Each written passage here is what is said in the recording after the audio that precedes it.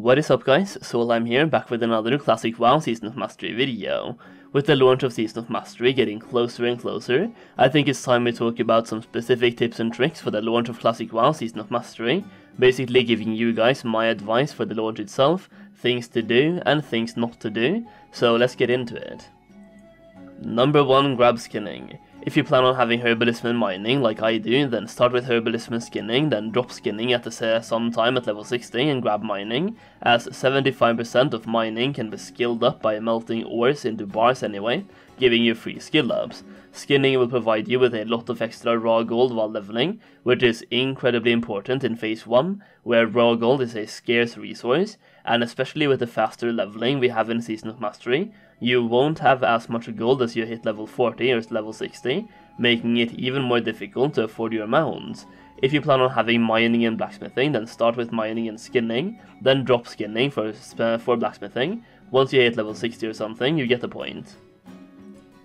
Number 2. Only train important class abilities. This one goes hand in hand with the first advice, but instead of producing more gold while leveling, this advice is to be frugal with the gold you actually do have. So instead of literally wasting gold by training every ability available, be mindful of which abilities you train, and only train the ones you actually need.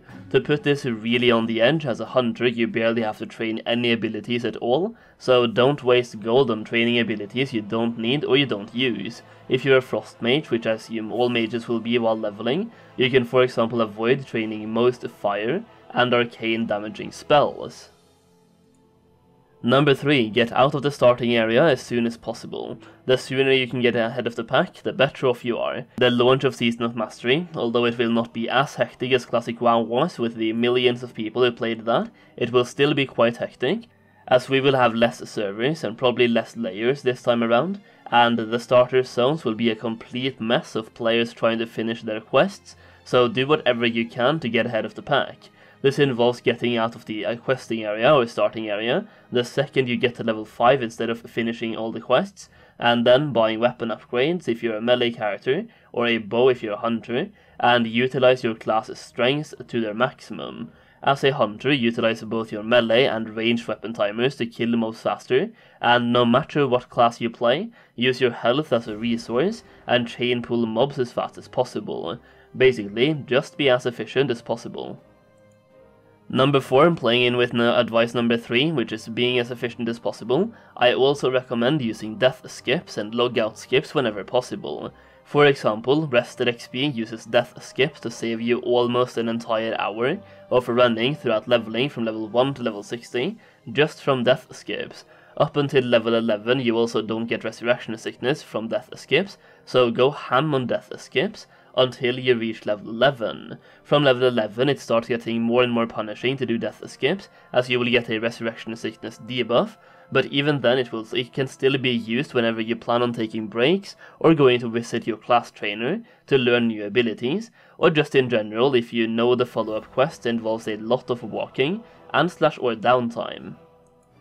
For you night elves out there, there is also a logout skip in the spider cave where you can log out after looting the egg and respawn back at the quest giver, and I believe there's a death skip for orcs and trolls that is essential to get ahead of the curve as well, and for the night elf logout skip it is important that over half your body is over the edge here, so keep that in mind. As a night elf, you will also most likely want to get yourself to Ironforge at one point, and using the death skip by drowning yourself far west in wetlands at this exact location will make you respawn in Kharanos and will save you a lot of time. Likewise, if you're playing a gnome or a dwarf, at some point you will want to get yourself to Darkshore for that juicy Darkshore quest experience, and there's a skip you can do up in the mountains of Dun Morogh to jump off and respawn at the graveyard in wetlands, and this one will save you close to half an hour of running considering the mobs in wetlands and in the tunnel towards wetlands are high level and you will end up dying a lot. So this skip is probably the most important one for Alliance players when it comes to skipping from Dun Morogh to wetlands. Number 5. Have a group of people to level with. With a plus 40% increased experience from Quest, it is actually a lot more viable to group level this time around, and it is probably going to be the fastest way to level up by being in a group of 2 to 3 people. you want to find a sweet spot where you can take advantage of being able to kill do killing quest faster without having to wait too long for everyone to complete specific gathering quests, so 2 to 3 people is probably where that sweet spot is. I would say this is especially important at the beginning to get ahead of the curve and finishing the starting zone quests as fast as possible, so consider finding a couple of people that aligns with your gaming schedule and form a group. Certain classes can even play on their class synergies, such as paladins and warriors that become unstoppable in a group, using Blessings of Might and Battle Shout to increase their attack power by a lot. As a general rule of thumb, when doing duo or trio questing, I recommend half the group starts killing mobs while the other half gathers items in the area, if there's some gatherables. That way you will have a response up for the other people in the group to gather when you're done killing. Number 6, this one is tied to the previous advice, and I just want to say that if you don't have a group of people to level up with, don't be scared to invite people in the open world to finish off killing quests.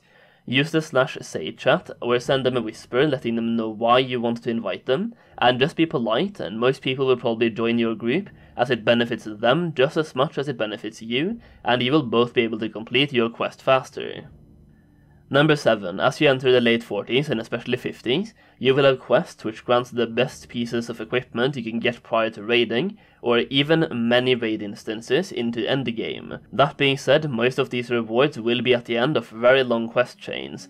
This means that as you enter your late 40s and late 50s, you can start working on getting your pre-BiS items, while also getting experience at the same time.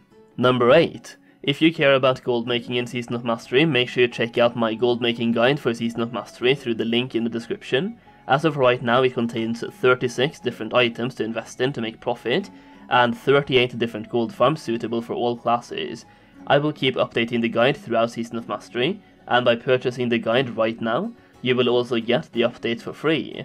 On top of that, if you use the code Solheim at checkout, you can also save 50% on the purchase.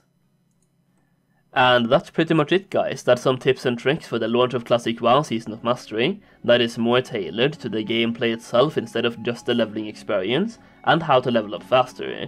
I've also made a video on top 10 leveling advice for Season of Mastery, for those of you who want some specific advice on how to level up faster in Season of Mastery, so make sure you check that one out as well. Hopefully you found this video enjoyable and informative, and if you did in fact enjoy it, make sure you give it a thumbs up, it really helps my channel out and I honestly really appreciate it. And while you're at it, make sure you subscribe to the channel for more Season of Mastery content. With that being said, I want to thank you very much for watching this video, and I'll see you again very soon.